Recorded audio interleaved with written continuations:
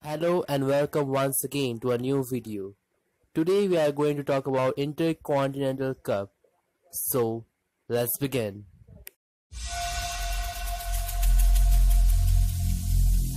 Every single day, I'm gonna make Intercontinental Cup is to be held between 12 to 18 July in Trans Arena Stadium, Gujarat. The participating teams are Syria, Tajikistan, host India, and North Korea. This time the competition will be played in round robin followed by a final. Syria will start as the favorites of this tournament. All the best to all the team.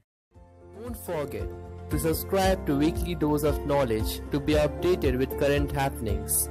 Thank you again for watching. Thank you.